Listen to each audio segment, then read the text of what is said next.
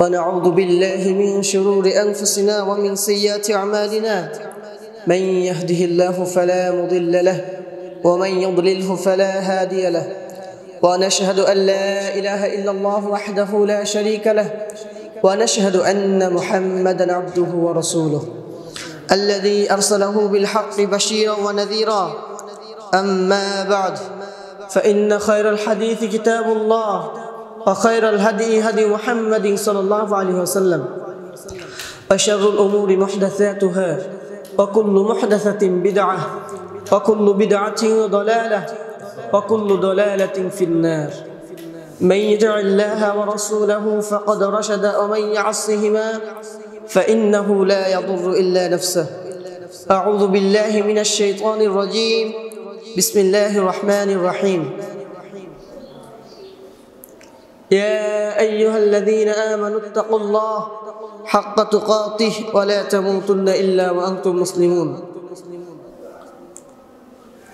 أو كما قال الله تعالى أعوذ بالله من الشيطان الرجيم. إنا أنزلناه في ليلة مباركة. أو كما قال الله تعالى أعوذ بالله من الشيطان الرجيم. شهر رمضان الذي أنزل فيه القرآن. أو كما قال الله تعالى أعوذ بالله من الشيطان الرجيم. وكل شيء فعلوه في الزبر وكل صغير وكبير مستطر عن عبد الله بن عمر بن عاص قال سمعت رسول الله صلى الله عليه وسلم يقول كتب الله مقادر الخلائق قبل أن يخلق السماوات والأرض بخمسين ألف سنة قال وعرشه على الماء متفق عليه আলহামদুলিল্লাহ যাবতীয় প্রশংসা মহান আল্লাহ সুবহান তালার জন্য যে আল্লাহ সুবহান তালা আমাদেরকে সুস্থ শরীরে তার ইবাদতের জন্য, তার উপাসনা পালন করার জন্য মসজিদে উপস্থিত করলেন বলি আলহামদুলিল্লাহ। দরুদ সালাম বর্ষিত হোক, সর্বকালের সর্বশ্রেষ্ঠ নবী, সর্বশ্রেষ্ঠ রাসুল, সর্বশ্রেষ্ঠ মানব, মানবতার মুক্তির দুধ জনাবে মোহাম্মদ রসুল্লাহ সাল্লামের প্রতি সকলে বলি সাল্লাম উপস্থিত মসজিদের মুসলিবৃন্দ বিগত জমায় আলোচনা করেছিলাম শাওয়াল মাসের করণীয় সম্পর্কে, শাবান মাসের যে শাবান মাস আমাদের মধ্যে অতিক্রম করছে, এই মাসে আমরা কি কি করব? তার মধ্যে অন্যতম বলেছিলাম যে, বেশি বেশি সিয়াম পালন করা, রোজা রাখা। আল্লাহ নবী সাল্লাহ আলিয়াল্লাম এই মাসে বেশি বেশি রোজা রাখতেন। তাই আমাদেরও চেষ্টা করতে হবে সেই অনুকরণে, অনুসরণে বেশি সিয়াম পালন করা। দ্বিতীয়ত বলেছিলাম, এই মাসের গুরুত্ব বা ফজিলতের ব্যাপারে যে, এই মাসে আল্লাহ সুবাহর কাছে বান্দার আমল নামা পেশ করা হয়, উপস্থাপন করা হয়। তৃতীয়ত বলেছিলাম যে আল্লাহ সুবাহ লাইলাতুন্নিসমিন শাহবান মধ্য সাবানের রজনীতে দুই শ্রেণির ব্যক্তি ব্যতীত সকলকে ক্ষমা করে দেন। এক, যারা মুশ্রিক, দুই, যারা হিংসুক। এই দুই শ্রেণির ব্যতীত সকল শ্রেণীকে আল্লাহ ক্ষমা করে দেন। এটা ছিল হচ্ছে আমাদের শাহবান মাসের ফজিলত, গুরুত্ব, করণীয় আমল সমূহ এবং এই জন্য বলতে চেয়েছিলাম শাহবান মাসের বর্জনীয় কিছু কাজ রয়েছে বা কিছু আমল রয়েছে। যে কাজগুলো সচরাচর আমরা অনেক বেশি পালন করে থাকি বা অবগত হয়ে থাকি বা আমাদের মাঝে ব্যাপকতা ছড়িয়ে রয়েছে, যেটা আমাদের সমাজে দেখা যায়, প্রায় অধিকাংশ ব্যক্তিবর্গই কাজ করে থাকে। এই কাজগুলোকে আমাদের ত্যাগ করতে হবে, বর্জন করতে হবে, পরিহার করতে হবে, বাদ দিতে হবে। কেন? কারণ আল্লাহ এবং তার রসুল সাল্লাহ আলী সাল্লাম আমাদেরকে একটি পূর্ণাঙ্গ জীবন ব্যবস্থা দিয়ে গিয়েছেন। আর এই পূর্ণাঙ্গ জীবন ব্যবস্থার মধ্যে আমাদের করণীয় এবং বর্জনীয় সব দিকগুলোই স্পষ্টত আকারেই প্রমাণ করা রয়েছে বা একদম স্পষ্ট আকারে আমাদেরকে দেখিয়ে দেওয়া হয়েছে। তার মধ্যে এই যে শাহবান মাস, এই শাহবান মাস কেন্দ্রিক আমাদের সচরাচর রসুল্লাহ সাল্লাহ আলিয়াল্লামের যে সুন্নাহগুলো ছিল, যে গুরুত্বগুলো ছিল, বা রসুল সাল্লাহ আলিয়াল্লাম আমাদেরকে যে শিক্ষাগুলো দিয়ে গিয়েছেন সাহাবিগঞ্জ যে শিক্ষার উপরে অটুট ছিলেন, যেই শিক্ষার উপর তাদের জীবনযাপন করেছেন, সেই শিক্ষায় শিক্ষিত না হয়ে, সেই শিক্ষাকে মেনে না নিয়ে, সেই শিক্ষায় জীবনকে না সাজিয়ে, আমরা আমাদের নিজেদের বুঝ মতন বা আমাদের বড় হুজুরদের বুঝ মতন বা আমাদের বাংলাদেশীয় বা বিভিন্ন বড় পীর ফকিদের বুঝ মতন কিছু কাজ করে থাকি যে কাজগুলো আসলে কোরআন এবং হাদিস দ্বারা সাব্যস্ত নয়। তবে তারা দলিল দেয়, তবে তারা উপস্থাপন করে কোরআন এবং হাদিস থেকেই। তারা উপস্থাপন করে কোরআন দিয়েই, তারা উপস্থাপন করে হাদিস দিয়েই যে কোরআন এবং হাদিস আমি কোরআনের আয়াত এবং হাদিস পাঠ করেছি তিলত করেছি আমি বলার চেষ্টা করব। আল্লাহ রবুল আলমিন আমাকে তৌফিক দান করুন। আল্লাহ আমিন। সম্মানিত মুসলমিন লাইলাতুল নিসফিমিং শাহবান এই মধ্য শাবানের রজনী, যেই রজনীকে আমরা জানি সবে বরাত হিসেবে, আমার দেশের অধিকাংশ ব্যক্তিবর্গকে যদি আপনি লাইলাতুল নিসফিমিং শাহবান বা মধ্য শাবানের রজনী যদি বলেন তাহলে তারা চিনতে পারবে না, তাহলে তারা বুঝতে পারবে না, তাহলে তারা জানতে পারবে না বা বলতে পারবে না যে কোন দিনের কথা বলা হচ্ছে। আমি শব্দটা আবারও বলি, লাইলাতুন নিসফে মিন শাবান মানে মধ্য শাবানের রজনী। এটা হচ্ছে আরবি শব্দ, লাইলাতুন নিসফে মিন শাবান। বাংলা হচ্ছে মধ্য শাবানের রজনী। আর এটার ফার্সি ফার্সি করে বা এটারই একটা নামকরণ করা হয়েছে, সবে বরাত নামে। যেই নামটি আরবি শব্দের সাথে যায় না বা আরবি শব্দ নয়, শব্দটি হচ্ছে ফার্সি শব্দ। আর ফার্সিতেই আমরা, যেহেতু বাংলাদেশের মানুষজন বেশি পরিচিত, আমরা যে নামাজ বলি, সেটাও ফার্সি শব্দ, বাংলা শব্দ নয় বা আরবি শব্দ নয়।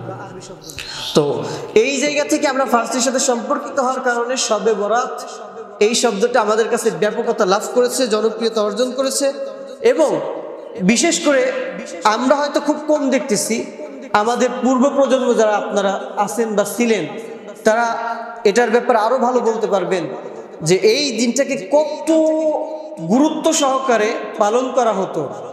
যে নতুন পোশাক পরিধান করা, ভালো ভালো খাবারের আয়োজন করা, সবাই মিলে একটি অনুষ্ঠানের মতো জাঁকজমকভাবে এটাকে উদযাপন করা হতো। তো এই দিনটা উদযাপন করার কারণে, পিছনে কয়েকটি কারণ উপস্থাপন করা হয়। তার মধ্যে অন্যতম সুরাত দুখানের প্রথম আয়াত দিয়ে আমার দেশের কতিপয় হুজুরগণ দলিল পেশ করে থাকতেন যে আল্লাহ তাআলা অবতীর্ণ করেছেন কোরআনকে এই বরকতময় রজনীতে। আল্লাহ বরকতময় রজনীতে কোরআনকে নাজিল করেছেন। এ কথাকে অস্বীকার করার কোনো কিছু নেই। এ কথাকে দূরে সরিয়ে দেওয়ার কোনো উপায় নেই। এই কথাকে অবজ্ঞা করার কোনো সুযোগ নেই। কেউ যদি এটা বিশ্বাস না করে, কেউ যদি এটার উপর ইমান না নে কেউ যদি এটাকে তুচ্ছ তাচ্ছিল্যভাবে দেখে, কেউ যদি এটার উপর বিন্দুমাত্র সন্দেহ পোষণ করে, তবে সে ইমানদার থাকতে পারবে না। সম্মানিত মুসলিমবৃন্দ আবার শুনুন। আল্লাহ তাআলা বরকতময় রজনীতে নাজিল করেছেন কুরআনুল কারীম।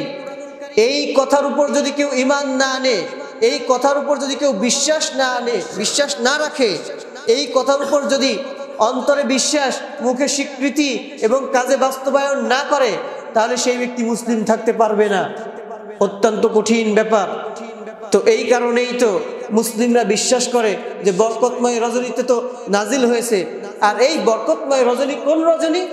এই বরকতময় রজনীর ব্যাখ্যা করতে যেই তো আমার দেশের হুজুরগণ, আমার দেশের মসজিদের খতিবগণ, আমার দেশের ইমামগণ, আমার দেশের হাফেজ সাহেবগণ, মাদ্রাসার বড় বড় মহাদ্দিসগণ, প্রিন্সিপাল সাহেবগণ, মোহতামিম সাহেবগণ, তারা সবাই এটার ব্যাখ্যা করেছে যে এটা হচ্ছে লাইলাতুল নিসফিমিং শাবান। সাবান সাবান মাসের মধ্য রজনী, যেটাকে পনেরোই সাবান বলা হয়। তাই তো ওই রাত্রিটাকে আমার দেশের যত জনসাধারণ মানুষ রয়েছে তারা ইবাদতের রাত্রি মনে করে নিয়েছে। তাই তো তারা রাত্রি যাপন করে, তাই তো তারা সলাত আদায় করে, তাই তো তারা ওই রাত্রি কবর জিয়ারত করে, তাই তো তারা ওই রাত্রিতে যত রকম দান সদাকা আছে সব কিছু করে, যত রকম মানুষকে খাওয়ানো রয়েছে, গরিবকে খাওয়ানো রয়েছে আরও কত রকম আয়োজন রয়েছে। মাজার জিয়ারত, কবর জিয়ারত মানত ইত্যাদি সব কিছুই এই পনেরোই শাহবান লাইলাতুল ইসলামিং শাহবান বা সবে বরাতের দিনেই করে থাকে।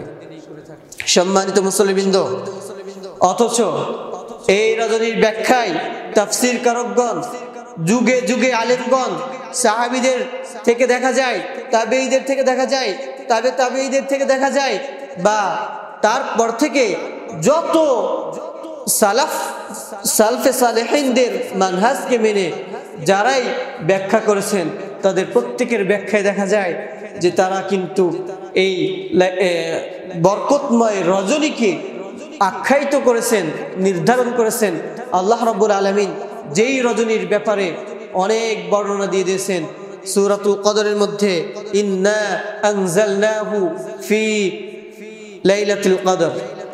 আল্লাহ সুবহানাহু বলতেছিলেন কি? ইন্না ফি লাইলাতিন মানে বরকতময় রজনী। আর এখানে বলতেছে কি? ইন্না ফি মানে দুইটাকে যদি আপনি সমন্বয় করতে যান, আপনি যদি পাশাপাশি রাখেন, তাহলে দেখেন একদম কমন ব্যাপার কিন্তু দুইটা জিনিসের শুরুতে একই জিনিস রয়েছে। ইন্না ফি। এটুকের মধ্যে কোনো ব্যবধান নেই। লাইলাতুল পর্যন্ত কোনো ব্যবধান নেই। এক জায়গায় আছে মুবারকা, এক জায়গায় আছে কদর। সম্মানিত মুসলিম তাহলে আল্লাহ সুবহানাহু তাআলা যেই রজনীর ব্যাপারে একটি সূরাই নাজিল করে দিয়েছেন, ব্যাখ্যা করে দিয়েছেন, তো সে জায়গায় কি করে আর আলাদা করে তাকফির করার সুযোগ থাকে? সে জায়গায় কি করে আর নিজেদের মন মতো ব্যাখ্যা করার সুযোগ থাকে? সে জায়গায় কি করে জাতিকে বোকা বানানো যায়? সে জায়গায় কি করে এই জাতি নির্বোধের মতন, গর্ধবের মতন, গাধার মতন কর্ণপাত করে এই হুজুরদের কথা শুনে কোরআন এবং কোরআন স্টাডি না করে, পড়াশোনা না করে আল্লাহ সুবহান কি বলেছেন? না দেখে একটি দিনকে উদযাপন করে যায়, একটি দিনকে বরকতময় রাত মনে করে নেয়, একটি রাতকে বরকতময় রাত মনে করে নেয়, একটি দিনকে বরকতময় দিন মনে করে নেয়। সম্মানিত মুসলবৃন্দ এই বরকতময় রজনীর কথা অস্বীকার করা যাবে না। আল্লাহ যে বরকতময় রজনীতে কোরআন নাজিল করেছে, এই কথা অস্বীকার করা যাবে না। আসলেই নাজিল করেছেন বরকতময় রজনীতে তবে সেই বরকতময় রজনী কোথায়? এই লাইলাতুল নিসফিমিন শাবান। মধ্য শাবানের রজনীতে? না, মধ্য শাবানের রজনীতে নয়। তাহলে কোথায়? এটা খুঁজতে হবে, তালাশ করতে হবে, অন্বেষণ করতে হবে রমদান মাসের শেষ দশকে বা পুরো রমদান জুড়ে। আল্লাহ নবী সাল্লাহ আলিয়া সাল্লাম তিনি আমাদেরকে লাইলাতুল কদরের অনেক বর্ণনা দিয়ে গিয়েছেন। অনেক কিছু জানিয়ে দিয়ে গেছেন। তবে তবে কোন দিন, কোন রজনী, কোন রাত এটা নির্ধারণ করে বলে দিয়ে যাননি। কিন্তু আমার দেশের মুসল্লিদের, আমার দেশের ইমামদের, আমার দেশের কিছু মসজিদের কর্মকাণ্ড দেখলে মনে হয় যেন তাদের কাছে নতুন করে ওহি নাজিল হয়েছে, তারা যেন বুঝে ফেলেছে যে সতর সাতাশে রমদান যেন এই লাইলাতুল কদর। যেন তাদের কাছে ওহি নাজিল হয়েছে। তা না হলে পরে, তা না হলে পরে রমদানের শুরু দিকে দেখা যায় কিছু মুসল্লি, কিছু জনস্রোত যা মসজিদে জায়গা দেওয়া যায় না, স্থান দেওয়া যায় না, একদম ভরপুর হয়ে যায়। কিন্তু রমদান যত বাড়তে থাকে, মুসল্লি তত কমতে থাকে। একদম শেষের দিকে এসে দেখা যায় মুসল্লি হাতে গোনা কয়েকজন ছাড়া যারা নিয়মিত সলাদ আদায় করে, যারা নিয়মিত ইবাদত করে, উপাসনা করে তারা ব্যতীত নতুন কোনো মুসল্লির উপস্থিতি নেই।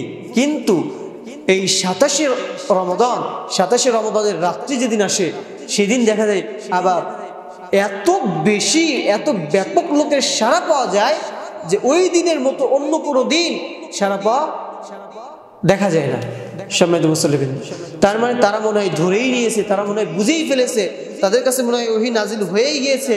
যে সাতাশে রমদান, এই দিন মনে হয় লাইলাতুল কদর। আর সেই কারণেই তো তারা এই লাইলাতুল সাবান মানে মধ্য সাবানের রজনীতে যেমন সারা রাত্রি জেগে ইবাদত ইবাদত করে, ঠিক একইভাবে সাতাশে সাতাশে রমদানের রাত্রিতেও সারা রাত্রি যাপন করে অনেক অনেক হাজার হাজার ব্যক্তি রয়েছে আমার দেশে সম্মানিত মুসলিবিন্দু তাহলে তাদের কাছে মনে হয় নির্ধারণ হয়েই গিয়েছে লাইলাতুল রাত্রি। অথচ আল্লাহ নবী সাল্লাল্লাহু আলাইহি সাল্লাম তিনি আমাদেরকে নির্ধারণ করে দিয়ে যাননি। সাহাবিরা নির্ধারিত করে বলতে পারেননি, তারা নির্ধারণ করে আমল করতে পারেননি। তাবেইরা তাবে তাবেইরা আজও পর্যন্ত যারা আল্লাহ এবং তার রসুলের অনুসরণ করে, যারা সাহাবিদের অনুসরণ করে, যারা তাবে তাবেইদের অনুসরণ করে পৃথিবীতে চলছে, যারা সালফে সালেহাইনদের অনুসরণ করে পৃথিবীতে চলছে, তারা কেউই জানে না, তারা কেউই বলতে পারে না, তাদের কারোরই বলার ক্ষমতা নেই, সাধ্য নেই, সামর্থ্য নেই যে কোন দিন লাইলাতুল কদর। সমেত মুসলিবিন্দু আমাদেরও নেই কেন নেই? কারণ আমরা আমরা গায়ের জোরে কোনো কথা বলি না। আমরা নিজেদের মন মতো কোনো কথা বলি না। আমরা নিজেদের ইচ্ছা মতো কোনো আমল করি না। আমরা যা কিছু আমল করি, আমরা যা কিছু বলি, আমরা যা কিছু করি, তার সবটাই আমাদের কাছে ওহাইর মাধ্যমে পাওয়া। সম্মানিত মুসল্লিবৃন্দ, ওহাইর মাধ্যমে পাওয়া মানে ওহাই তো কোরআনুল কারিম। আমরা জানি ওহাই তো কোরআনুল কারিম, তাহলে ওহাইর মাধ্যমে কীভাবে পেলাম? আমরা তো সব ওহাই মানি না, আমরা তো সব কোরআনুল কারিম মানি না, আমরা তো হাদিসও মানি। হাদিস কি ওহাই? হাদিস কি ওহাই? বলেন। হাদিস ওয়াহি। হাদিস ওয়াহি। ওয়াহি তিন প্রকার। সরাসরি যে ওয়াহিটা এসেছে সেটা কোরআনুল কারিম। আর যেটা জিব্রাইল আলী ইসলামের মাধ্যমে বা আল্লাহ নবী সাল্লাহ আলিয়াল্লামকে অন্য কোনো মাধ্যমে জানিয়ে দেওয়া হয়েছে, সেটা হচ্ছে হাদিস। আর তৃতীয় নম্বরে নবী রসুলগঞ্জ যে স্বপ্নগুলো দেখতেন সেই স্বপ্নগুলো ছিল ওহি নবী রাসুলগণকে শয়তান কখনো ধোকা দিতে পারতেন না, শয়তানের পক্ষ থেকে তারা কখনো স্বপ্ন দেখতেন না। তারা যে স্বপ্ন দেখতেন সেটাও ওয়াহি। সম্মানিত মুসল্লিবৃন্দ, তাহলে বুঝতে পারলাম কোরআনুল কারিম ওয়াহি, হাদিসও ওয়াহি। আল্লাহ নবী সাল্লাহ আলী সাল্লাম তিনি আমাদেরকে যে পূর্ণাঙ্গ জীবন ব্যবস্থা দিয়ে গিয়েছেন, এই পূর্ণাঙ্গ জীবন ব্যবস্থাটাই কি? ওয়াহি। কোরআনুল কারিম, হাদিস, দুটাই ওয়াহি। মানে রসুল সাল্লাহ আলিয়া সাল্লাম নিজের থেকে কোনো কথা বলে যাননি, নিজের থেকে কোনো আমল আমাদেরকে চাপিয়ে দিয়ে যাননি, নিজের মন করা কোনো ব্যাখ্যা আমাদেরকে দিয়ে যাননি। তাই তো তাই তো আমরা যারা সালফে সালেহিনদের মানহাজকে অনুসরণ করে চলতে চাই, আমরা যারা আহলুসুল্নাওয়াল জামায়াতের অনুসরণ করে চলতে চাই, আমাদের সমীচীন হবে, আমাদের উচিত হবে আল্লাহ নবী সাল্লাহ আলি সাল্লামের পঙ্খানুপঙ্খ অনুসরণ করা। সম্মানিত মুসলিবৃন্দ আল্লাহ নবী সাল্লাহ পরিপূর্ণভাবে অনুসরণ করলে পরেই আল্লাহ নবী সাল্লামের পরিপূর্ণ অনুসরণের মাধ্যমেই আমাদের জীবনকে একটি পরিপূর্ণ ইসলামিক জীবনে পরিবর্তন করা সম্ভব, অন্যথায় কোনোভাবেই সম্ভব নয়। আমরা এই লাইলাত নিসমিং শাহবানকে আরও বরকতময় মনে করি যে কারণে সেটা হচ্ছে আবদুল্লাহ ইবনে আমর ইবনে আস রাদিয়াল্লাহু থেকে বর্ণিত। তিনি বলেন আমি রসুল্লাহ সাল্লাহ সাল্লামকে বলতে শুনেছি, আল্লাহ তালা সকল মাকলুকের তাকদির আকাশমণ্ডলীয় পৃথিবী সৃষ্টির পঞ্চাশ হাজার পূর্বে লিখেছেন। তিনি বলেছেন, সে সময় আল্লাহর আশ ছিলেন পানির উপরে। হাদিসটা আমার বলি। যে আবদুল্লাহ ইবনে আমর ইবনে আস রাদিয়াল্লাহু আনহু বলতেছেন যে আল্লাহ নবী সাল্লাল্লাহু আলাইহি বলেছেন যে মানুষ সৃষ্টির, পৃথিবী, আসমান, জমিন সৃষ্টির পঞ্চাশ হাজার বছর পূর্বে মানুষের তাকদির লিখে রাখা হয়েছে, ভাগ্য লিখে রাখা হয়েছে। লিখে রাখছেন কে? আল্লাহ সুবহান তখন আল্লাহর আর্শ ছিল কোথায়? পানির উপরে। কারণ পৃথিবী সৃষ্টি হয়নি, জমিন সৃষ্টি হয়নি, কোনো কিছুই সৃষ্টি হয়নি। সেই সময় আল্লাহর আর্শ ছিল পানির উপরে। ওই পঞ্চাশ হাজার বছর আগে আল্লাহ সুহান ও তালা সকলের তাকদির লিখে রেখেছেন। এখন আমাদের মানুষের মাঝে একটি ব্যাপক বিশ্বাস রয়েছে। বাৎসরিক একদিন ভাগ্য নির্ধারণ করা হয়, লিখা হয়, লিপিবদ্ধ করা হয়। সেই দিনটা সবে বরাতের রাত্রি।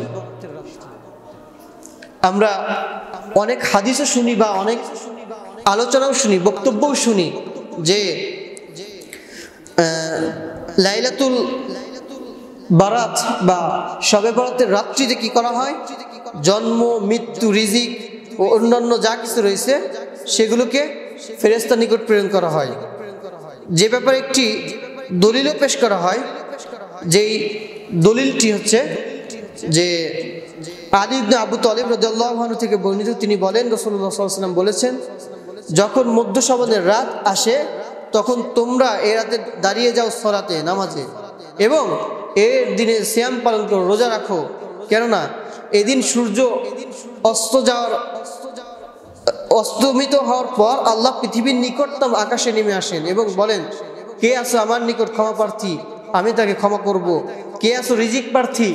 আমি তাকে রিজিক দেব। কে আসো রোগমূর্তি, রোগমুক্তি প্রার্থনাকারী? আমি তাকে নিরাময় দান করব। কে আসো এই প্রার্থনাকারী? ফজরের পূর্ব পর্যন্ত এইভাবে তিনি আহ্বান করেন। হাদিসটি ইবনে মাজার মধ্যে থেকে কুট করা হয়েছে, নোট করা হয়েছে যে হাদিসটি আসলে সহিত নয় দৈফ নয় মানে জাল হাদিস, বানোয়াট হাদিস। কত চমৎকারভাবে উপস্থাপন করা হয়। আমি হাদিসটিকে একদম স্পষ্টভাবে আপনাদের সামনে তুলে ধরলাম এই কারণে যে আমার দেশের হুজুরেরা এইভাবে বর্ণনা করে যে আলী ইবনে আবি তলেব রদিয়াল্লাহ আনু থেকে বর্ণিত, তিনি বলেন, আল্লাহ নবী সাল্লাম বলেছেন, এই এত চমৎকারভাবে যখন আপনার সামনে উপস্থাপন করা হবে, তখন কি আপনার মনে সংশয় ঢুকবে? আপনার মনে কোনো দ্বিধা ঢুকবে? কোন আতঙ্ক কাজ করবে? যে মিথ্যা বলতেছে, হুজুর কি মিথ্যা বলতে পারে? নাম নিয়েছে কার? আলী ইবনে আবি তলেব, একজন খোলা খোলাফে রাশেদিনী তারপরে এতটুকুই কি শেষ? শুধু আলিবনে আবু তলেবের নামে কি শেষ? তারপর কার নাম নিয়েছেন? আলিবনে আবু তলেব কার মারেফত দিচ্ছেন? মোহাম্মদ রসুল্লাহ সাল্লাম যারা জাতিকে এইভাবে ধোকা দেয়, বোকা বানায়, যারা জাতির সাথে প্রতারণা করে, প্রতারিত করে জাতিকে, যারা নিজেদেরকে জাহির করার জন্য অপব্যাখ্যা করে কোরআন এবং হাদিসের, আল্লাহ আপনি তাদেরকে হেদায়ত দান করুন। যদি তাদের জন্য হেদায়ত না থাকে, তো তাদেরকে আপনি নির্মূল করে দিন। তাদেরকে আপনি ধ্বংস করে দিন। আপনি কোরআন এবং হাদিসকে আল্লাহ রসুল সাল্লাহ সাল্লামের সুন্না ভিত্তিক জীবনযাপন করার জন্য আমাদের জন্য সহজ করে দিন। প্রেমসলিবিন্দ নাম নিয়েছে আলিব নাবি তলেব আনহুর তারপরে তিনি বলতেছেন রসুল্লাহ সাল্লাহ সাল্লাম বলেছেন, যখন রসুল বলেছেন, তখন তার কোনো কথা থাকে না।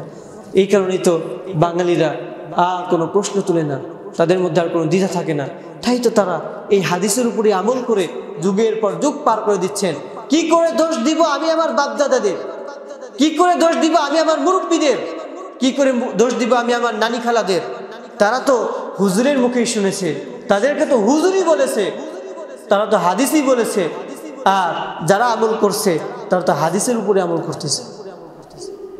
তারা তো আর আমার আপনার মতো হুজুরের কথায় আমল করতেছে সম্মানিত মুসলিমবৃন্দ বলেছেন কয়েকটি কথা দেখেন।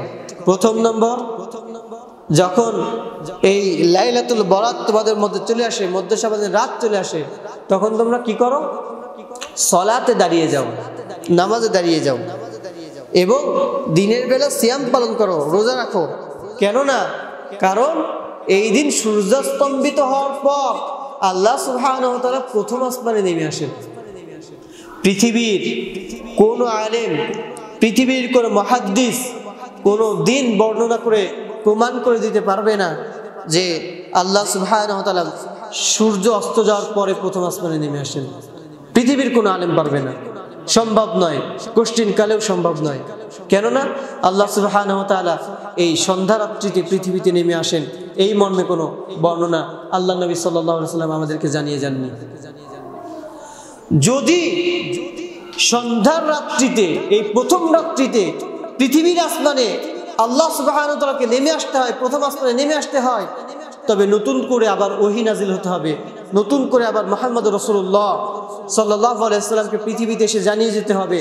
কারণ তিনি তো চলে গিয়েছেন, বর্ণনা রেখে গিয়েছেন, তিনি তো বলে দিয়ে গেছেন স্পষ্ট করে দিয়ে গিয়েছেন।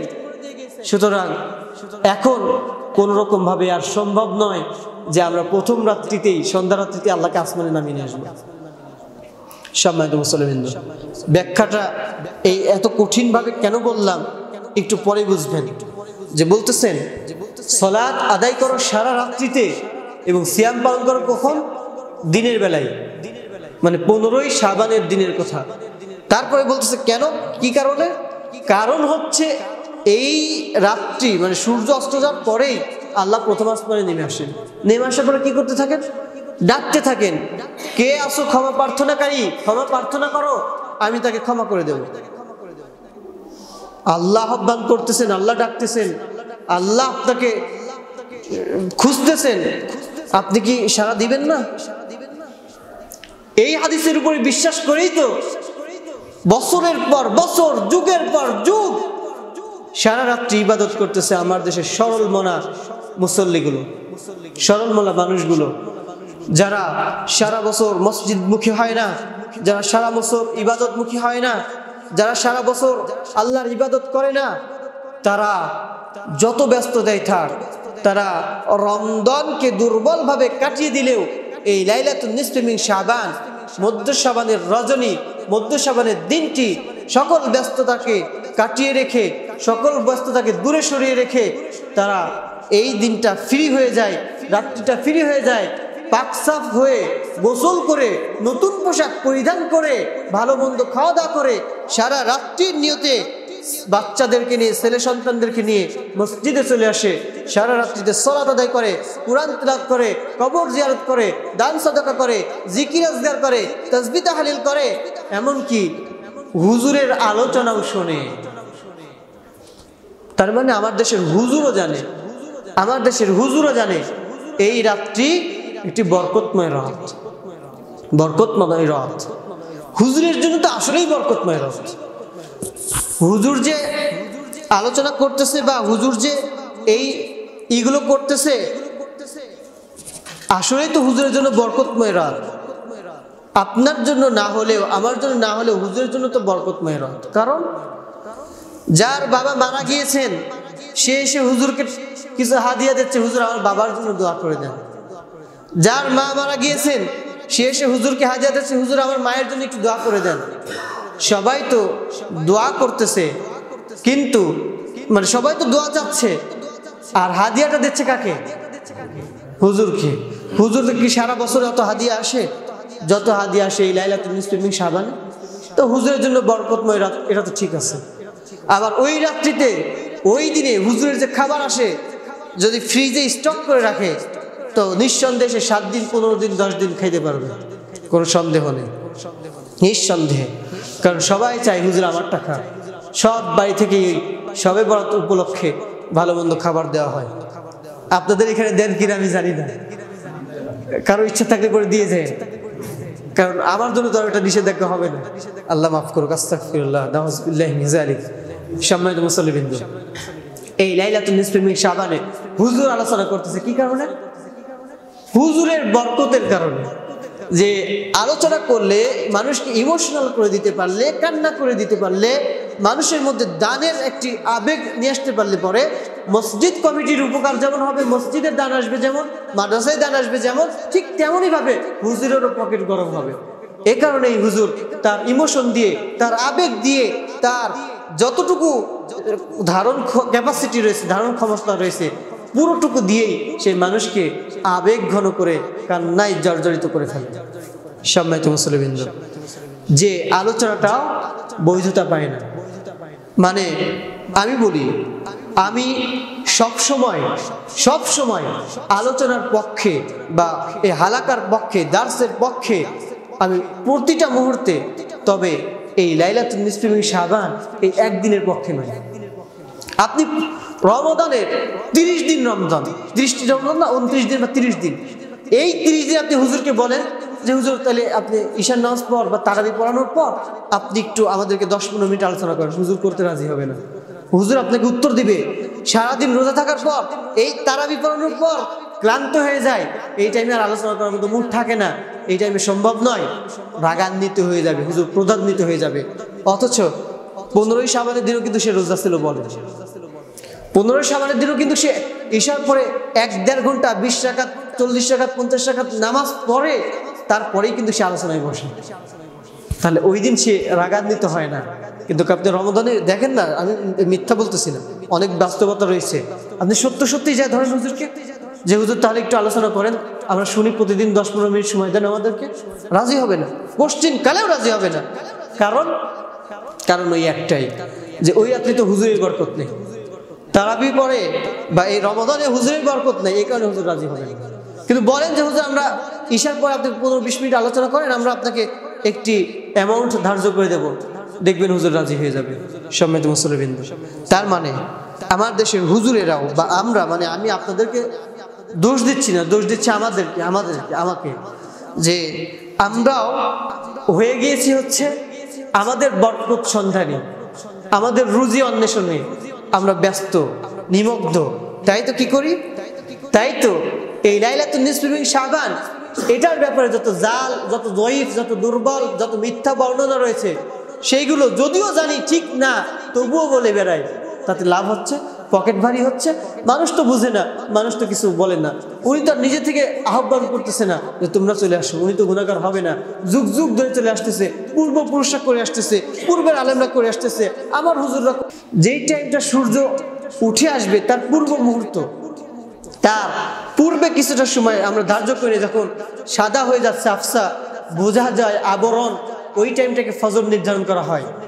আর মধ্যরাত্রি পার হয় যখন খুব চারিদিকে অন্ধকার, একদম নিশি, ভরপুর হয়ে যায়। সেই সময়টা হচ্ছে মধ্যরজনী। তো শুরু থেকে নিয়ে মধ্যরজনী, এই টাইমটুক পর্যন্ত এর কোনো বর্ণনা নেই বা এই টাইমটুকের মধ্যে যে বর্ণনাগুলো পাওয়া যায়, যে আল্লাহ নবী সাল্লাম যা কিছু করতেন, তিনি মাগরিব পর ঘুমানো অপছন্দ করতেন। আচ্ছা আমরা খাওয়া দাওয়া করি প্রায় অধিকাংশ সবাই ঈশার নামাজের পরে বা রাত্রিতে দশটার দিকে। অথচ আল্লাহ নবী সাল্লাহ সাল্লাম বা সাহাবিগণ, তারা খাওয়া দাওয়া করে নিতেন। মাগরিবের পরে ঈশার পূর্বে। মানে ঈশার পূর্বে তাদের দুনিয়াবি যত কাজকর্ম রয়েছে সব কিছু শেষ করে ফেলতেন। খাওয়া দাওয়া শেষ, ঈশার সালাদ শেষ, বাড়িতে যাওয়ার পরে তাদের আর তেমন কোনো কাজ থাকতেন না। শুধুমাত্র নফল যে ইবাদতগুলো থাকতো, সেই ইবাদত করে তারা ঘুমিয়ে পড়তেন। এবং এই ঘুমটা হতো একদম পূর্ণাঙ্গ ঘুমের মতন। এমন ঘুম দিতেন তারা তারা একদম শেষ রাত্রিতে আবার জাগ্রত হয়ে উঠে তারা আবার ইবাদতে ব্যস্ত হয়ে পড়তেন, মেশগুল হয়ে পড়তেন। সেই সময়টা কখন ছিল? রাত্রের তিন ভাগের শেষ অংশে। তার মানে এখন যদি আমরা সাধারণভাবে হিসাব করতে যাই, এখন আমাদের সন্ধ্যা হচ্ছে ছয়টার দিকে। আর ফজর হচ্ছে আবার ছয়টার দিকে। পুরো বারো ঘণ্টার সময় আমরা পাচ্ছি। এই বারো ঘন্টাকে যদি আমরা তিন ভাগ দিই, সাধারণভাবে চার ঘণ্টা চলে আসতেছে। তো এই চার ঘন্টাকে যদি আমরা ভাগ দিয়ে দিই মানে রাত্রিতে যদি আমরা এই দুইটার পর থেকে শুরু করি, দুইটা থেকে নিয়ে ছয়টা, এই চার ঘণ্টা টাইমটা হচ্ছে এই আল্লাহ সুবহান প্রথম আসমানে নেমে আসার সময়, রাত্রি শেষ তৃতীয়াংশের এক অংশের সময়। সময় তো মুসলিম এই সময় প্রতি রাত্রিতে প্রতি রাত্রিতে, একদিন দুই দিন নয়, বছরে একদিন নির্ধারণ করে দিয়েছেন এমন নয় প্রতি রাত্রিতে আল্লাহ সুবাহান তালা প্রথম আসমানে নেমে আসেন এবং আহ্বান করতে থাকেন, কে আসো ক্ষমা প্রার্থী? ক্ষমা প্রার্থনা করো, আমি তাকে ক্ষমা করে দেব। কে আসো রিজিক অন্বেষণকারী? রিজিক অন্বেষণ করো, আমার কাছে চাও, আমি তাকে রিজিক দিয়ে দেব। কে আসো দুরারোগ্য ব্যাধি থেকে মুক্তি কামনাকারী? আমার কাছে চাও, আমি তাকে দুরারোগ্য ব্যাধি থেকে মুক্তি দান করব।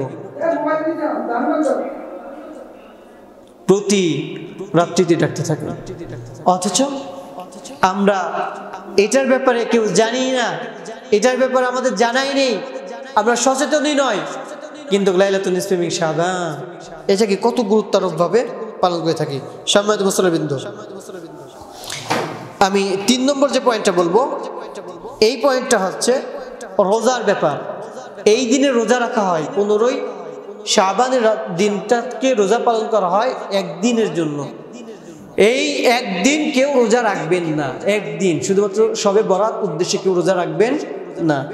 যদি আপনি তেরো, চোদ্দ, পনেরো, আরবি মাসের তেরো, চোদ্দ, পনেরো এই তিন দিন হিসেবে রোজা রাখেন মানে যদি কেউ এবছর রাখতে চান, তো আগামীকাল, পরশু এবং তারপরের দিন, এই তিন দিন একটানা রাখতে পারেন। আগামীকাল, পরশু, তারপরের দিন, তিন দিন মানে আমাদের সবে বরাত হচ্ছে তো পরশুর পরের দিন, পনেরোই সাবান উদযাপন করবেন, সরকারিভাবে ছুটি দিবেন আরও কত কিছু আয়োজন করবেন আল্লাহ আপনি হৃদয় দান করুন আমাদেরকে, আমিন। এই তিন দিন যদি কেউ রোজা রাখে, সেটা হচ্ছে চাঁদের রোজা, যেটাকে বলা হয় আয়ামে বীজ। এই আয়ামে বীজ শুধুমাত্রই সাবান মাসের জন্য নির্ধারণ এমন নয়। প্রতি মাসেরই, প্রতি চাঁদেরই তেরো চোদ্দ এবং পনেরো তারিখে একটি রোজা রাখা যায়। সেটাকে বলা হয় কি? আয়ামে বীজ।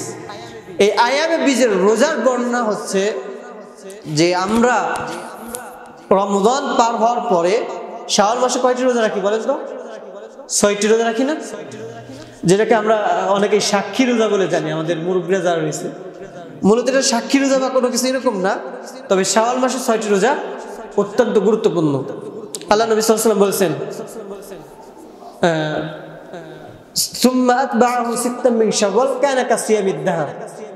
কেউ যদি মানে রমদানের রোজা রাখার পর শাওয়াল মাসে ছয়টি রোজা পালন করে, তাহলে তার সারা বছর সিয়াম পালন করার সমপরিমাণ সব হবে।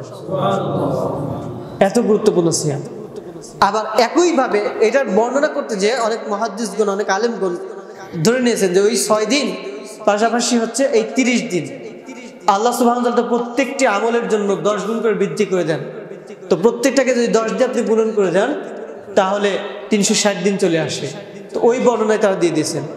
আর আইয়ামে বীজের বর্ণনা হচ্ছে যে এই তিন দিন করে যদি আপনি সিয়াম পালন করেন, তিন দিন করে যদি সিয়াম পালন করেন, তো এটাকে আপনি দশ দিয়ে যদি গুণ দেন, তিন দশে তিরিশ হয়ে যাচ্ছে। এই তিন দিন আপনি সিয়াম পালন করার কারণে পুরো মাস সিয়াম পালন করার সমান নাকি হয়ে যাচ্ছে। তাহলে আমাদের জন্য কত সহজ? আমাদের জন্য আল্লাহ সুবাহ কত সহজ বিধান দিয়ে দিয়েছেন। আর এই বিধানগুলো পৃথিবীর কোন আলেম দ্বিমত পোষণ করার সন্ধিহান পোষণ করার, এটার ব্যাপারে প্রশ্ন তোলার কোনো অবকাশ নেই। কেউ পারবে না, কোনোদিন পারবে না, কেউ বলবে না এই সিয়াম পালন করবেন না। কেউ বলতে পারবে না। হানাফি বলেন শাফেই বলেন, মালিকি বলেন, হাম্বেই বলেন পীর ফকি বলেন, চরমুনাই বলেন, ফুরফুলা বলেন, জাসদ বলেন, বাসদ বলেন, তারপরে আট্রসি বলেন মাইস ভান্ডারি বলেন সিস্তিয়া বলেন, মোজাদ্দিদিয়া বলেন, যাদেরকেই বলেন না কেন, এই আইয়ামে বীজ মানে মাসের তেরো, চোদ্দ, পনেরো, এই তিন দিন রোজা রাখার ব্যাপারে দ্বিমত পোষণ করবে এই রকম পৃথিবীর কোনো মানুষের সাধ্য নেই, পৃথিবীর কোনো মানুষের ক্ষমতা নেই, কোনো আলেমের তো নেই, সাধারণ মানুষেরও নেই, পৃথিবীর কারোরই নেই। কারণ নবী সাল্লাহ সাল্লাম তিনি প্রতিনিয়ত, প্রতি মাসেই এই তিন দিন সিয়াম পালন করতেন। এখন বলেন তো, যে নবী সাল্লাহ সাল্লাম যেই তিন দিন সিয়াম পালন করতেন, এই তিন দিন সিয়াম পালন না করে একদিন যদি পালন করেন তো নবীর চেয়ে বেশি বোঝা হচ্ছে কি হচ্ছে না? নবীকে অবজ্ঞা করা হচ্ছে কি হচ্ছে না? নবীর কাজটাকে অবমূল্যায়ন করা হচ্ছে কি হচ্ছে না? সম্মানিত মুসলবিন্দ অনেক টাইমে অনেক সময়ে আমরা আমাদের যারা গুরুজন রয়েছে, বড়জন রয়েছে, মুরব্বীজন রয়েছে, শ্রদ্ধাভাজন ব্যক্তিত্ব রয়েছে, তাদের সম্মানে আমাদের নিজেদের সঠিক কাজটাকেও আমরা কি করি? ত্যাগ করে দেই। যে ওনার সামনে যে এই কাজটা করব, এটা তো অন্যায় হয়ে যাবে। এটা উনি কীভাবে নেয়? উনি মাইন্ডে নিবে কিনা? আবার অনেক টাইমে না, উনি মাইন্ডে নিবে না। তা করব না, এটা বাদ দিয়ে দিই। অনেক গুরুত্বপূর্ণ কাজও কিন্তু আমরা এইভাবে ছেড়ে দিই দিই কিনা? অথচ এই, এটার ব্যাপার দেখেন যে আল্লাহ নবী সাল্লাম তেরো, চোদ্দ, পনেরো, এই তিন দিন থাকার ব্যাপারে বলছে পুরো বছর জুড়ে। এই তেরো, চোদ্দ, পনেরো, তিনি সাবান মাসে তেরো, চোদ্দ, পনেরো রোজা থাকছেন। থাকেননি এমন বর্ণনা কেউ দিতে পারবে না। কিন্তু এই তিন দিন তো রাখতেছে না। এই তিন দিন না রেখে একদিন রাখতেছে। তার মানে আল্লাহ নবী সাল্লাম যেটা রাখতেন সেটা হচ্ছে একটু কম মূল্যায়ন পায়, এটা একটু দাম কম, মূল্য কম রেসপেক্ট কম। একদিনের বর্ণনা যেটা আমাদের হুজুরেরা দিয়েছে, এটার মনে হয় মূল্য একটু বেশি। সম্মানিত মুসলবিন্দ এই কাজ কেউ করবেন না। সকলের কাছে বিনীত অনুরোধ থাকবে যে আগামী কাল পরশু এবং তারপরের দিন। এই তিন দিন, কমসে কম সকলেই রোজা রাখার চেষ্টা করবেন। আল্লাহ সুবাহ আমাদেরকে তাফিক দান করুন। আল্লাহ আমিন। আচ্ছা চার নম্বরের যে ব্যাপারটি, যে এই রজব মাস আসার পরে একটু দোয়া আমরা পাঠ করতে থাকি। রজব সাবান আসার পরে যে আল্লাহ বারিক লানা ফি রজাব শাহবান ও বাল্লিগনা রমাদান। এই দুটার ব্যাপার আমাদের হুজুরের আমাদেরকে অনেক ছোট থেকেই শিখাইছে এবং মুখস্থ করছি। রজব মাস সাবান মাস ব্যাপী পড়েছি অনেক পড়ছি, আমি নিজেও পড়েছি, যে ভালো দোয়া আল্লাহ বারিক লানা ফি রজব শাহবান ও বাল্লিগনা রমাদান। আল্লাহ আপনি আমাকে হায়াত বৃদ্ধি করে দেন বা বরকত দিয়ে দিন এই রজব এবং শাবান মাসে এবং রমজান পর্যন্ত জীবিত রাখুন এবং রমজানে বেশি বেশি আমল করা তাফিক এই অর্থ বোঝায় মানে রমজান পর্যন্ত পৌঁছে দেওয়ার জন্য মূল দোয়াটা। দোয়াটার অর্থ সুন্দর। এইটাকে সুন্নত মনে করে দীর্ঘদিন যাবৎ করেছি কিন্তু পরবর্তীতে এখন জানি যেটা কি নয়? সুন্দর নয়। এই দোয়াটা শুধু শুধু কষ্ট করে মুখস্থই করেছিলাম। সময় মুসলবৃন্দ এই দোয়াটাও করা উচিত হবে না। এরপরে যেই ব্যাপারটা আসবে, যে হাদিস মানে আমি এখন হাদিস বলব না, শুধু বর্ণনা করে চলে যাচ্ছি। আমি নিষেধাজ্ঞাগুলো যেহেতু সময় অতিক্রম হয়ে গেছে অলরেডি তো এরপর যে বর্ণনাটা আসছে, সেটা হচ্ছে যে পনেরোই সাবানের রাত্রে রসুল্লাহ সাল্লাহ সাল্লাম গারকাতুল বাকি বাকি নামক কবরস্থানে কবর জিয়ারত করতে যান। এই সিলসিলা ধরে আমার দেশে কিন্তু এখন কবর জিয়ারতটা জমজমাট ভাবে চলে পনেরোই সাবান আপনারা জেনে কি মানে খুশি হবেন না দুঃখ প্রকাশ করবেন জানি না, তবে আমার কাছে খুব দুঃখ লেগেছে। আমি একটি মসজিদে খুদ্া দিতাম চার বছর যাবৎ, একটা না। মসজিদটাতে আলহামদুলিল্লাহ, মসজিদটা হচ্ছে কবরস্থানের সামনে, গোরস্থানের সামনে। চকসাটানি কেন্দ্রীয় গোরস্থান। তো ওই কবরস্থানের সামনে, গোরস্থানে যাওয়ার পর যত পাকা কবর ছিল, সকল পাকা কবর ভাঙাইছি চার বছরের মধ্যে। যত কবর বাধাই করা ছিল, উঁচু ছিল, সব সমান করেছি। যত কবরের নেম প্লেট ছিল, সব উঠায় ফেলাইছি মানে খুদ্বার মাধ্যমে, বক্তব্যের মাধ্যমে। এবং মুসল্লিরাও মেনে নিয়েছে, তাদের সহযোগিতা ছিল, আলহামদুলিল্লাহ। তো সব করার পরে লাস্ট যে বছর আমি ওখান থেকে চলে আসি আর কি সেই বছরেও এই লাইলাতুল নিস্তমিক সাবানে আমি বলে দিয়েছি খুদ্ায় কঠিনভাবে, কঠোরভাবে যে গেটে যেন তালা মারা থাকে। পুরো বছর রাত্রিতে কবরস্থান খোলা থাকবে, কোনো অসুবিধা নেই। কিন্তু পনেরোই সাবান যেন তালা মারা থাকে। দুঃখের ব্যাপার হলো, পনেরোই সাবান রাত্রিতে তালা মেরে রাখার পরে একদল লোক জনস্রোত এসে সেই তালা ভেঙে ভিতরে ঢুকছে কবর জেরাত আবার কিছু লোক পাঁচিল টপকে কবর জেরাত করার জন্য ভিতরে ঢুকছে। তাও কবর জেরাত করতেই হবে। করবেই করবে।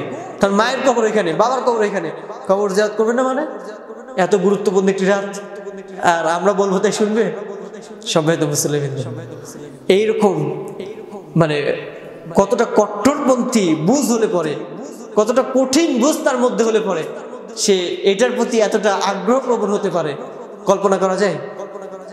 অথচ যে হাদিসটি দিয়ে এটার বর্ণনা করা হয় যে আয়েশা সিদ্দিকা রদাল্লাহ তাল আনহা, তিনি পনেরোই সাবানের রাত্রিতে বর্ণনাটা এমন মানে হাদিসটা, যে হাদিসে উপস্থাপন করে আমাদের হুজুরেরা, যে পনেরোই সাবানের রাত্রিতে আয়েশা সিদ্দিকা রদাল্লাহ তাল আনহা শুয়ে রয়েছেন আল্লাহ রসুল পাশে শুয়ে রয়েছেন। কিছুক্ষণ পর আয়েশা সিদ্দিকা হাত দিয়ে দেখেন যে আল্লাহ নবী নেই। তিনি তাকিয়ে দেখেন যে আসলেই নেই। তিনি ভাবলেন যে হয়তো বা বাহিরে গিয়েছেন। তা কিছু সময় শুয়ে থাকলেন, কিন্তু দেখেন যে না আল্লাহ নবী আসেন না। তখন তিনি মনে মনে সন্দেহ পোষণ করলেন। মনে হয় তিনি অন্য বিবির কাছে গেছেন। তিনি উঠে গিয়েছেন এবং যার পরে বাইর হওয়ার পর দেখেন যে তিনি জান্নাতুল বাকি মানে গরকাতুল বাকি, তারা জান্নাতুল বাকি বলে। যে বাকির সামনে দাঁড়িয়ে দোয়া করতেছে। তো তখন তিনি আয়েশা সিদ্দিকা রাদিয়াল্লাহু দেখার পর দেখে দোয়া শেষ। তখন তিনি দৌড়ে চলে আসতে লাগে। আল্লাহ নবীর পিছু পিছু দৌড়ে আসে। আসার পরে তাকে বলে, আয়েশা, তুমি আমাকে সন্দেহ করতেছিলে। আমি তোমার আমানত রক্ষা করব, তুমি আমাকে এই করতে পারবে না। আমানতের ব্যাপারে কোনো সময় খেয়ানতকারী পাবে না। এই বর্ণনাটা দিয়ে থাকে। দিনটা ছিল কোন দিন? পনেরোই সাবানের রাত্রি, তাই বলে, রাত্রিটা ছিল। অথচ এই হাদিসটার মূল সনদ যেটা, মূল হাদিস যেটা, সেটাতে কোনো রজনীর কথা উল্লেখ নেই, কোনো রাত্রির কথা উল্লেখ নেই, দিনক্ষণ নির্ধারণ নেই। সম্মানিত মুসলিমবিন্দু কিছু কিছু আমল রয়েছে যে আমলগুলোর ব্যাপারে বর্ণনা রয়েছে সত্য সত্যই। কিন্তু ইসলামে কোনো আমলের ব্যাপারে, নির্ধারিত দিনের ব্যাপারে যদি থাকে, সেই দিনটাকে খুব কঠিনভাবে প্রমোট করা হয়েছে, অনেক কঠিনভাবে। যেমন লাইলাতুল কদর, যেমন আরাফার দিন, যেমন দুই ঈদের দিন। এই দিনগুলো, দুই, এই দিনগুলোর ব্যাপারে কি আমাদের কারও অজানা রয়েছে? এই দিনগুলোর ব্যাপারে কোনো সন্দিহান নেই। আর লাইলাতুল নিসফিক সাবান এই পনেরো সাবানের রাত্রি ব্যাপারে অনেক বেশি সন্দিহান থাকে। এই ব্যাপারে আমাদের সঠিক মত যেটা থাকতে হবে যে আল্লাহ সুবাহ তালা মুশ্রিক এবং হিংসুকদের ব্যতীত সবাইকে খবর করে দেয়। এই আস্থাটুকু, ভরসাটুকু আমাদের রাখতে হবে এবং শিরিক থেকে, হিংসা থেকে বেঁচে থাকতে হবে। আল্লাহ রব্বুল আলমিন আমাদেরকে তাফিক দান করুন। আল্লাহ আমিন। ওয়াকরুদ্দান আলহামদুলিল্লাহ রবিল আলমিন।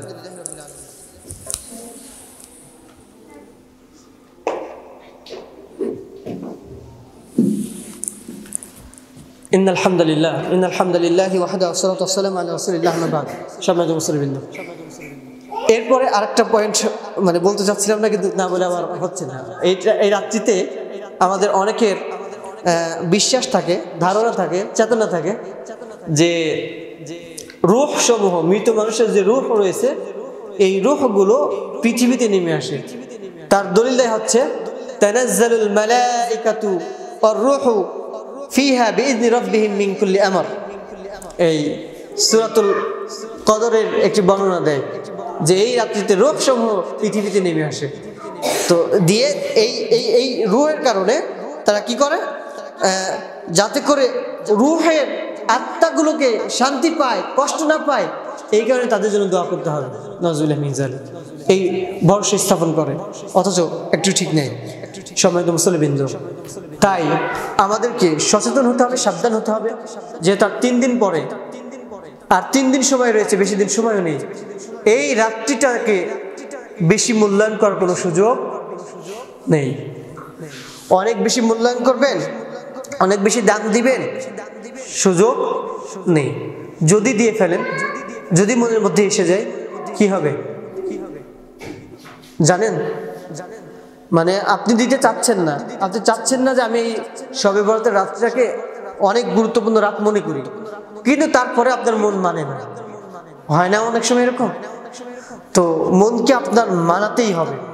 কারণ যদি আপনি মনকে মানাতে না পারেন, শুধুমাত্র যে আপনার মনের বাইরে চলে যাচ্ছেন, মনের বিরুদ্ধে চলে যাচ্ছেন, আপনি এমনটি নয়। আপনি ইসলামের একটি আইনের বিরুদ্ধে চলে যাচ্ছেন। ইসলামের একটি বিধানের বিরুদ্ধে চলে যাচ্ছেন। এই কারণে আপনাকে মনকে সঠিকভাবে বুঝ দেওয়া লাগবে, কঠিনভাবে, শক্তভাবে বুঝ দেওয়া লাগবে। আল্লাহ রব্বুল আলমিন আমাদের জন্য সহজ করুন। আল্লাহ আমিন। এই রাত্রিতে একশো রাখার সলাত আদায় করতে হবে। এরকম ধ্যান ধারণা থেকে বেরিয়ে আসা তৌফিক দান করুন। আল্লাহ আমিন। এই রাত্রিতে ভালো মন্দ খেতে হবে, তাকদির লেখা হয়। এই ধরনের চিন্তা ধারণা থেকে বেরিয়ে আসার তৌফিক দান করুন। আল্লাহ আমিন। এই রাত্রিতে বেশি বেশি দান সদকা করতে হবে, কবর জিয়ারত করতে হবে, হালুয়া রুটি বানিয়ে বিতরণ করতে হবে, খেতে হবে। এই ধরনের চিন্তা ধারণা, ধ্যান ধারণা থেকে বেরিয়ে আসার তৌফিক দান করুন। আল্লাহ আমিন আলমিন, আপনি আমাদের প্রত্যেককে, আজকে যারা এখানে উপস্থিত হয়েছি, যারা খুদ্া শ্রবণ করলাম, প্রত্যেককেই, প্রতিটি মানুষকেই, প্রতিটি পরিবারকেই আপনি কোরআন এবং সুন্নাহ অনুযায়ী জীবনযাপন করার মতো তৌফিক দান করুন। আপনি আমাদেরকে কোরআন এবং আল্লাহ রসুল সাল্লাহ সাল্লামের সুন্নাত সেই হাদিস অনুযায়ী আমাদের জীবনকে অনুধাবন করার তৌফিক দান করুন। আমাদেরকে কোরআন এবং সেই হাদিসের বুঝদান করুন। আমাদের সময়কে কাজে লাগিয়ে, দুনিয়ার এই ছোট জীবনকে কাজে লাগিয়ে পরকালে মুক্তি লাভ করার মতন যোগ্যতা অর্জন করার তৌফিক দান করুন। আল্লাহ আমিন। আমাদের মধ্যে যারা অসুস্থ রয়েছে, আমাদের পিতা, মাতা, আত্মীয় স্বজন, তাদের প্রত্যেকে আপনি সুস্থতা দান করুন।